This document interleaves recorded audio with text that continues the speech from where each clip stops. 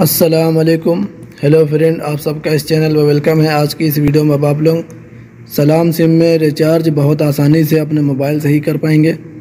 तो ये आप देख सकते हैं सलाम एप्लीकेशन को हमने ओपन कर रहे हैं, लेकिन ये ओपन नहीं हो रहा। क्योंकि हमारे में नेट ख़त्म हो चुका है। अब हम इसमें रिचार्ज करेंगे। तो ये आप देख सकते हैं कि ये एप्लीकेशन को हमने ओपन किया, लेकिन ओपन नहीं हो रहा। और ये आप देख सकते हैं कि अब हम मैसेज में जाएँगे। और ये मैसेज में सलाम मोबाइल की तरफ़ से जो भी मैसेज आते हैं, ये आप देख सकते हैं कि इधर लिखा हुआ आएगा कि पैकेज एक्सपायर हो चुका है, अब हम इसको एक्टिवेट करने के लिए अब हम इसमें रिचार्ज करेंगे। तो सबसे पहले आपको वाईफाई की ज़रूरत पड़ेगी, या आपके मोबाइल में नेट होना ज़रूरी है, क्योंकि बगैर नेट के वो एप्लीकेशन ओपन नहीं होगा। टाइम एक्सपायर होने के बाद फिर आपके पास दो घंटे या तीन घंटे रहते हैं कि आप रिचार्ज कर पाएँगे।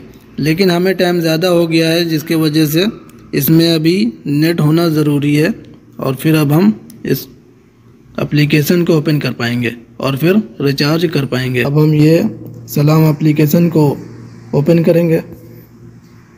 और ये आप देख सकते हैं कि सलाम एप्लीकेशन को ओके किया। ओके करने के बाद आपके सामने ये पेज ओपन हो चुका है। और ये आप देख सकते हैं कि अब इसमें रिचार्ज करना है।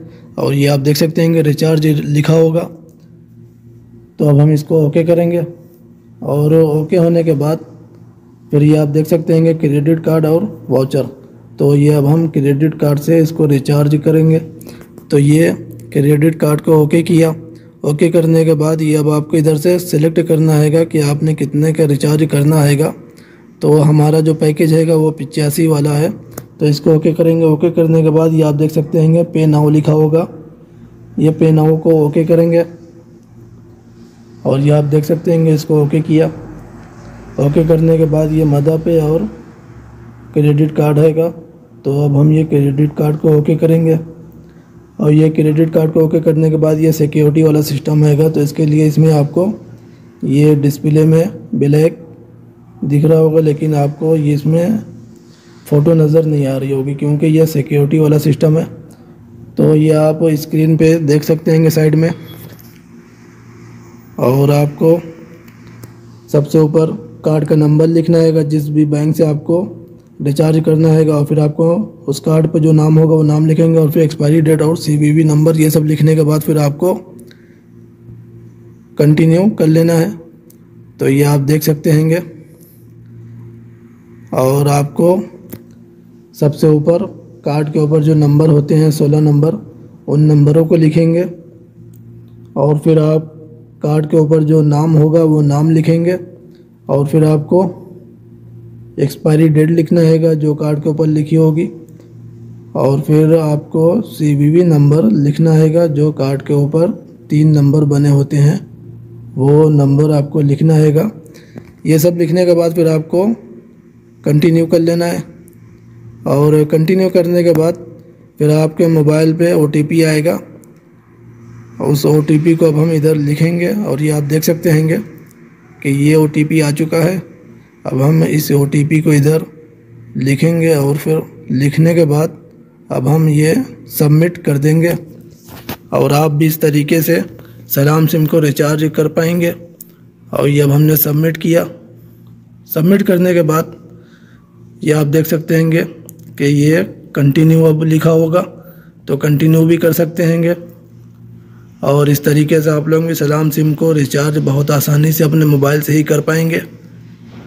और ये आप देख सकते हैं कि मैसेज भी आ चुका है। जिस बैंक से हमने ये रिचार्ज किया है, उसकी तरफ़ से भी और सलाम मोबाइल की तरफ़ से भी मैसेज आ चुका है कि हमने इसमें रिचार्ज किया है। और अब हम ये कंटिन्यू करेंगे। कंटिन्यू करने के बाद फिर आप देख सकते हैं कि ये कंटिन्यू किया कंटिन्यू करने के बाद बाकी के पैसे आप ये देख सकते हैं कि इधर मौजूद हैं। यानी जि सौ रियाल का रिचार्ज किया था, बाकी के जो पैसे होंगे वो आपके वॉलेट में जमा रहेंगे, मौजूद होंगे।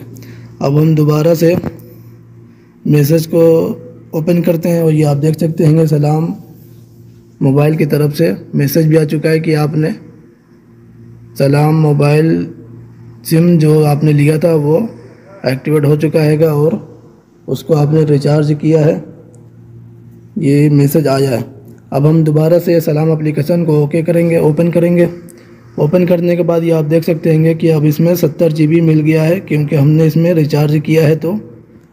यानी इस तरीके से आप लोग भी रिचार्ज कर पाएँगे। और पहले चालीस जी था, फिर पचास जी और फिर सत्तर जी कर दिया गया है क्योंकि ये हमारा महीना पूरा हो चुका है तो इसको अब हमने दोबारा से रिचार्ज किया। जब आप रिचार्ज करेंगे तो आपको फिर सत्तर जी मिल, मिलने लगेगा। और इस तरीके से आप लोग भी सलाम सिम में जो एक्सपायर हो जाता हैगा, एक महीना पूरा हो जाता है, फिर आप इसको रिचार्ज करेंगे तो ये दोबारा से एक्टिवेट हो जाएगा। और इस तरीके से आप लोग भी रिचार्ज कर पाएँगे। और वीडियो अच्छी लगे तो लाइक और शेयर ज़रूर करें।